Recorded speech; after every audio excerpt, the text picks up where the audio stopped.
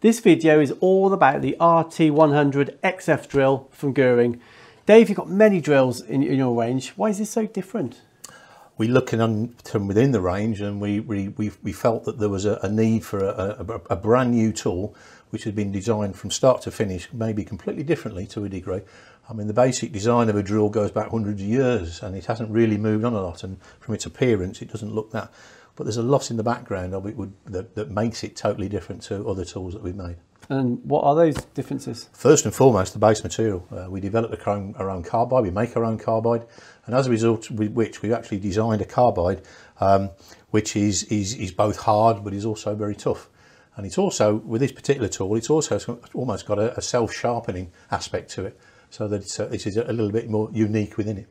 Yeah, yeah, sounds it. The other thing I note is how lubricant and how shiny that coating is. Is, yeah. is that a big part of it? Very much so. I mean, you're, you're all looking at swarf evacuation, uh, first and foremost. You can only drill at the speeds that you can see in the video.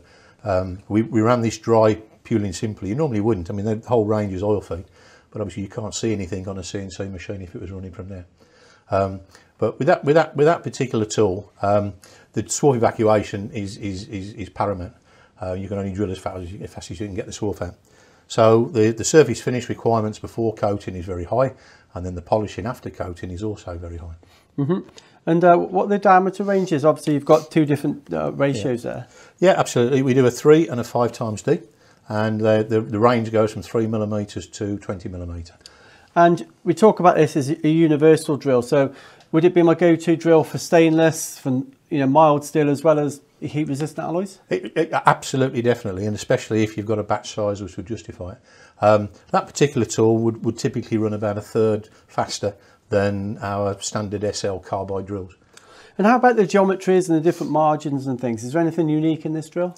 We've, we've, we've, we've, we've, we've optimised in lots of ways and that can be down to, to physical size, it could be the surface finish, um, it's the fact that the, the, it's, it's, it's double margin, the second margin um, sits not far behind the front one. So as a result of which it's very stable and, uh, and, and it, it also helps with the tool life, but the fact that it is stable. And I guess this is the beauty of having a tech centre here in the UK. You, I've seen these myself actually in action here in the UK, so you get to test bed them against your drills and comp competition drills. Absolutely, we've, we've, we've, we've, it's been leaps and bounds. I mean, your own ability to be able to test your own tooling that we make, whether it be a standard tool as this is, or the specials that we make as well, because the whole of Birmingham is built to make and regrind and recoat special tools. Thanks, Dave. So if you want information on the RT100XF or any other Guhring drills, get in touch with Guhring.